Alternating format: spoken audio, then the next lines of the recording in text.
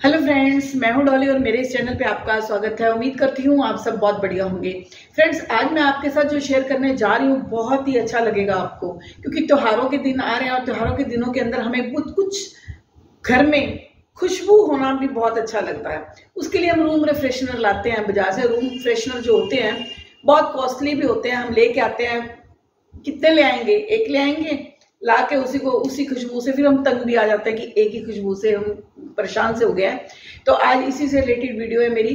मैं आपको कुछ टिप्स बता रही हूँ जिससे आप अपने घर में रूम फ्रेशनर तैयार कर सकते हैं और बहुत अलग अलग खुशबू की आ, मतलब एंजॉय कर सकते हैं अलग अलग खुशबू को। क्योंकि मुझे तो एक तरह की खुशबू अच्छी लगती नहीं। मुझे कभी कोई चाहिए होती है, कभी कोई चाहिए होती है। एक कर करके बोर हो जाती हूँ। तो मैंने सोचा कि मैं आपके साथ भी शेयर ज़रूर करूँ। तो फ्रेंड्स चलिए स्टार्ट करते हैं। सबसे पहले तो मैं आपको बताऊँगी, एक आप स्प्रे बोतल अपने घर में ज़रूर रखें, किसी भी टाइप की। ठीक है?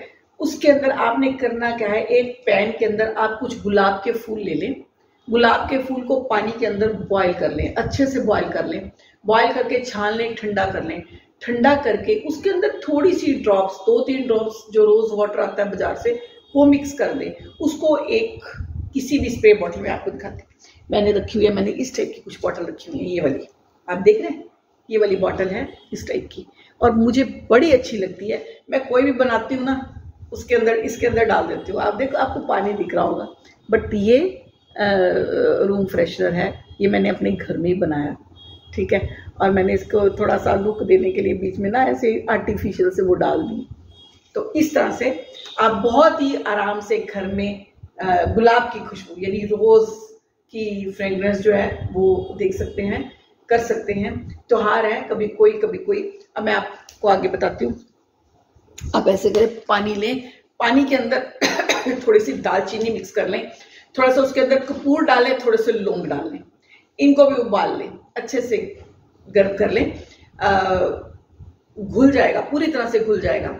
उस पानी को आप ठंडा कर लें, छान के बोतल में भर दें। बहुत अच्छी खुशबू आती है इससे भी, ठीक है, घर में। बहुत ही अच्छा लगता है।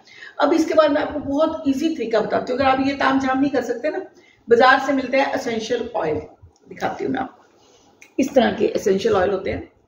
ये वाले ये ये संदल है, चंदन का। ये, इस तरह के एसेंशियल ऑयल आपको आम मिल जाएँगे। डिफ्यूज़र के अंदर हम लोग इन्हें ड्रॉप्स के हिसाब से डाल देते हैं। जैसे पानी में दो तीन ड्रॉप्स डाल दिए और डिफ्यूज़र को चला दिया।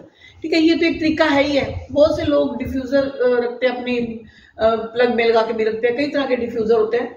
लोग ये लेते हैं। इसमें सबसे बड़ी बात है जैसमीन, लेवेंडर, बहुत से आपको फ्लेवर मिलेंगे। मतलब फ्रेग्रेंस बहुत मिलेंगी।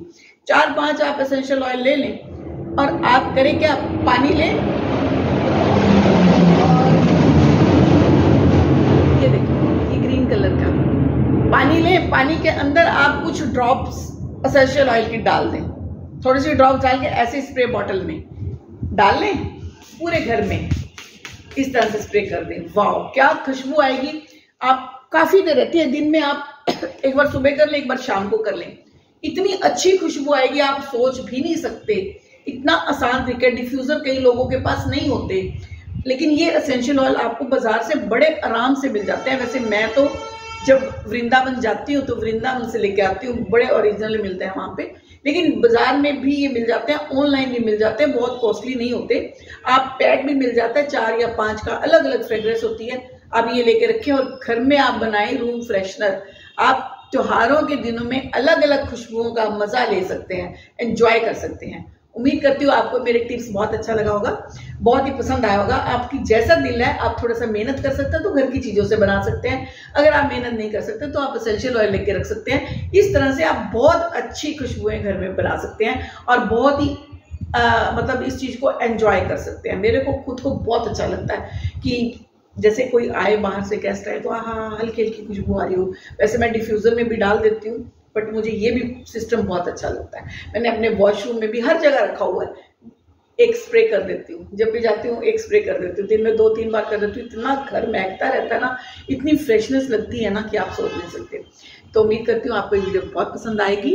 आप इसे ट्राई करें और मेरे साथ एक्सपीरियंस शेयर ज़रूर करें कि आपको मेरे ये टिप्स कैसे लगे।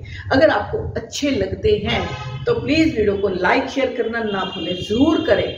और चैनल को सब्सक्राइब करें, साथ ही बेल आइकन को प्रेस कर लें, जिससे कि आपके पास हर नोटिफिकेशन मेरी पहुँचे और आप हर इजी से इजी रेसिपी का या कुछ टिप्स का फ़ायदा उठा सके। तो आज के लिए इतना ही, मिलते हैं आपके साथ नेक्स्ट वीडियो में एक नई और इजी रेसिपी के साथ या इजी टिप्स के साथ। Okay bye take care